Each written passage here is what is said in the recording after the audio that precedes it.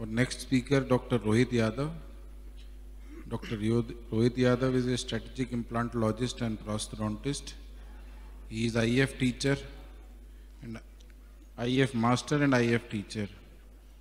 He plays of his place of education is King George Medical University, Lucknow, in India.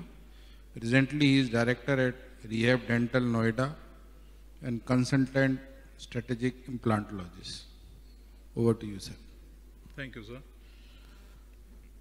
Now, good evening, everyone.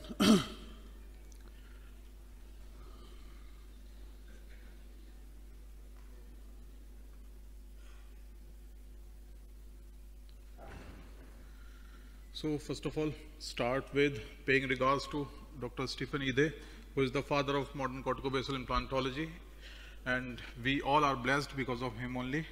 So, give a big applause to him. Now coming to my topic for today is nasal floor engagement and canine bypass. this presentation will be more of uh, experience based approach. So for beginners it will be, um, hope so, it will be uh, more useful. Now first of all start with what I imbibed from my experience in corticobasal implantology. Basically there are two main goals or we can say objectives that uh, the corticobasal implantology incorporates. First is using the existing bone of the patient. Guys, in corticobasal implantology, it's all about how best we can use the existing or native bone of the patient. We are not outsourcing a bone. We are using whatever is available to us. Okay, so that uh, should be kept in mind during treatment planning. Next is typical immediate functional loading. Guys, there are only two ways through which we can do typical immediate function loading. Either we cortical, corticalize the cancellous bone or we directly engaging the cortical bone area. Many people say that this system of science uh, can be, should be used uh, in no bone or minimal bone cases. But guys, we have a variety of designs of implant. Okay.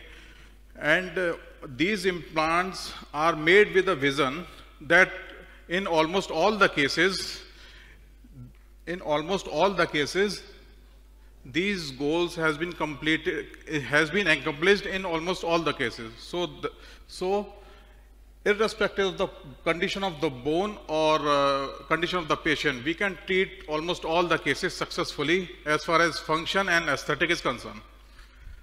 Now, coming to the mainstream of the topic, nasal floor engagement guys, which is the placement of apical third of the implant into the cortical floor of the nose for anchorage. That is the nasal floor engagement. But why nasal floor? Guys, in corticobasal implantology, we, we have to engage the typical bone area. But guys, in uh, it's uh, the typical bone area we cannot find everywhere, in our jaw, especially in maxilla. So we have to concentrate on those areas where the typical cortical bone is inevitably present and nasal floor is one of that area. And uh, that is a that has a stable bone reliable bone. It does not uh, change morphological does not show the morphological changes uh, with time. And yes this uh, nasal floor is come under the second cortical. In this uh, yeah, the green show showing the second cortical areas you can appreciate now, but how to achieve it? Guys, to be able to achieve it, you should be, be uh, you should be very, uh, you should be, you should have a proper and thorough command over the, over the procedure.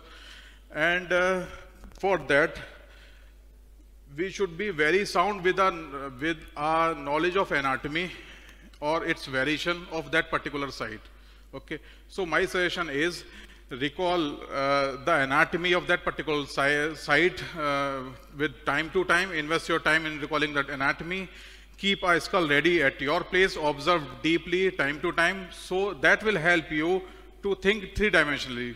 Guys, in this corticobasal implantology is all about 3D or 4D based implantology. Unlike, unlike conventional, conventional implant that uh, work under one or two planes. Okay, so it is a, a different game altogether. Now the exact